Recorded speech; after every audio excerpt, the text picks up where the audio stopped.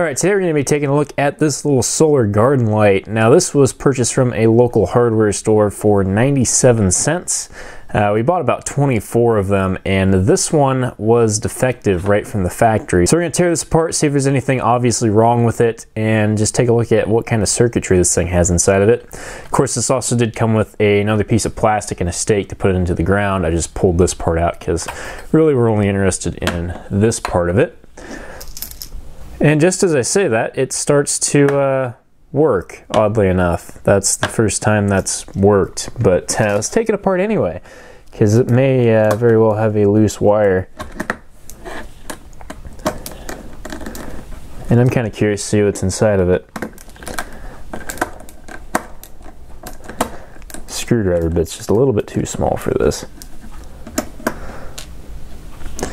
It is interesting because it's been sitting upside down on the desk just like this for uh, quite a while and it hasn't kicked in. Oh, I see the problem right now. That spring isn't aligned on the battery contact. And I wonder, let's see here. Nope, it's the other end. When these were new, they had like little orange tabs that you had to pull out before you used it and I was wondering if that was on the side where the spring was and it may have pulled the spring off but it looks like that little spring contact just kind of slid out a little bit. Another interesting thing that I'm noting is that there is water inside this already. I mean it's been raining for the last couple of days here but uh, would have expected these to be sealed a little bit better. So basically just slide that little spring contact back in and that should uh, fix it. And if we take a look down in there We've got our solar panel, it's got two wires coming off of it. So we've got a white and a black wire coming off the solar panel and a white and a black wire going to the battery. Our circuit board doesn't have much to it. We'll go ahead and pop the screw out of here. Looks like it just has one chip and then on the other side of the board it looks like it has a little inductor. And there's our LED there. Yep, so we just have a single inductor on the back side of this and that one chip, which I'll try to get the part number for. And the battery that's in this thing is a Gossi Inc. battery. It is a nickel metal hydride battery, which is nice since it's uh, not going to have any memory issues. We've had these lights before with uh, NiCads in them, and they don't seem to last too long because of the uh, memory effect that they have. So this guy is a 150 milliamp hour, 1.2 volt AAA battery. So the battery does have quite a low capacity, but you're not really expecting something real high and uh, something like this. Now the light output of something like this just isn't really that high, so it's probably not taking too much current to drive the LED. I'm gonna see if I can't find any information on that chip, and if I can, I'll go ahead and try to reverse engineer the circuit, which Shouldn't be too hard considering it only has a couple of components. All right, so I've got a bit more information on this now. So the chip is an XY8018, and that seems to be a fairly common chip in these sort of low-cost garden lights like this. There's not a whole lot to the circuit. The inductor just goes across there, and then the battery and solar panel are connected in here. I've got a better version of this schematic. There's not, uh, not a whole lot to it. So the battery positive and the solar cell positive are both uh, common together. All right, so the little inductor that's on that board is a 470 microhenry inductor, I believe.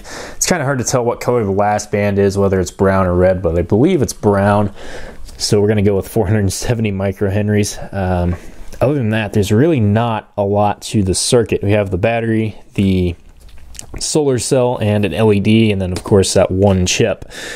And I did manage to find a data sheet for this guy.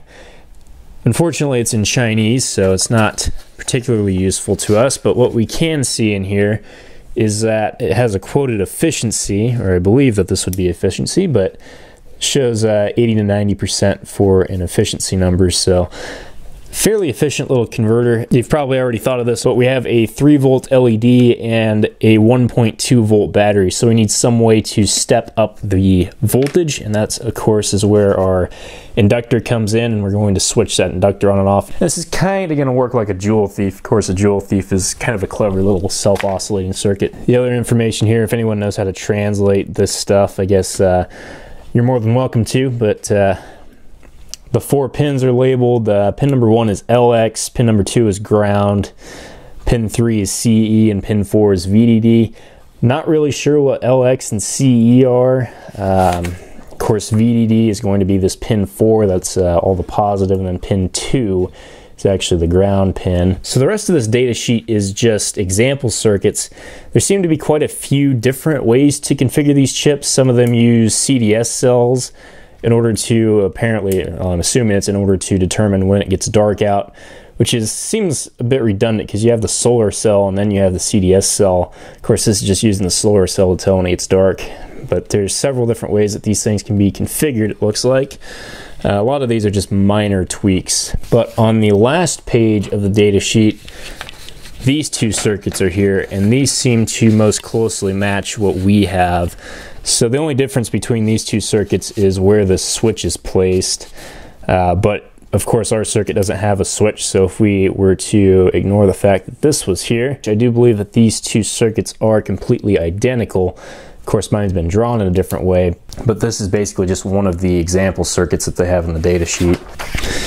And then they just have the uh, package information. I'm assuming all these are just dimensions of the uh, of the chip there. Now, one interesting thing on this is there are a couple of charts on this data sheet one is here, and then there's another one up here. Now, I'm not entirely sure what these are, but they look to compare. Uh, I'm, th I'm thinking that this is input voltage is 2.5, and then the inductor value and current either flowing through the LED or going into the circuit. Uh, of course, in our case, we don't have a 2.5 volt input. We have a essentially 1.25 volt input. We're using a 1.2 volt battery. So I'm assuming that this is the chart that we would want to pay attention to. Basically a few inductors. There's one setup where you can apparently run two LEDs in either parallel or in series. I'm not really sure. I'd assume parallel because it's a higher current. But uh, anyway, the rest of these have one LED. I'm not really sure what the 0307 and the 0410 are on this part. Of course, these are all labeled in Chinese, so I have no idea what they are. But anyway, what these charts are, they're essentially comparing the inductor value to the either input or output current. I'm not sure which. But anyway, the data sheet does show some information on how these chips operate and apparently some suggested component values. All right, so while this thing is apart, I wanna see how much current this pulls to run that little LED, just because I'm curious. Right now our battery voltage is 1. 2.6 volts, so that's fairly reasonable. And since apparently these guys just slide out, we'll go ahead and pull one of these guys out and we'll just hook our meter in line with that. All right, so now in theory, if I hook up my meter over here, that light should come on and we should be able to see how much power we're drawing. So you can see that our LED is now illuminated and we're drawing roughly 3.5 milliamps out of our battery. So with our 150 milliamp hour battery and running at 3.57 milliamps, it would in theory run for about 42 hours on one charge of that battery. So we went ahead and switched our meter into the microamp range. And one interesting thing is it does seem to have just a little bit of standby current. If I slowly raise the uh, the solar panel off the desk there, we can see we have about 7.4 microamps of current with the LED off and the solar panel not really generating any electricity. Go ahead and switch this back to the milliamp range and we'll point a really bright light at our solar panel and just see how much current we can get it to uh, put into the battery. Now obviously this isn't sunlight, but we're putting eh, roughly 25 milliamps into the panel at its max. If I put this light right up to the panel, goes up to about 40 milliamps. Unfortunately, it's not sunny outside right now, so I can't test it with real sun, but it looks like our panel can put up to about 40 milliamps out or so. Just as one more little experiment, I hooked up the oscilloscope across the LED. As you can see, the circuit is producing a square wave of almost exactly 200 kilohertz, and the peak voltage is about 3.1, maybe 3.2 volts. And that's kind of what you would expect because, of course, the LED is going to clamp that voltage. So anyway, that gives you a look inside a 97 cent solar garden light. Not sure what kind of lifespan something like this is going to have.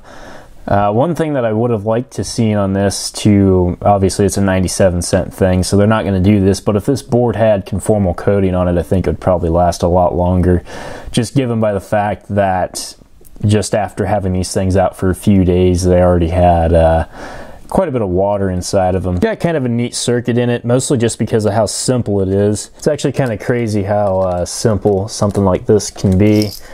Once you start trying to build things down to a price, I guess, you can really cut out most of the components. And of course, that specialized little chip is going to be doing all the work. But anyway, there's the little solar garden light put back together and now fully functioning, it appears. If you like this video, click on the like button. If you want to see more like it, go ahead and click on the subscribe button. If you have any comments or any more information about maybe what some of that Chinese says on the data sheet, I would be happy to know, so you can leave that in the comments. And I'll see you in the next video, guys. Bye.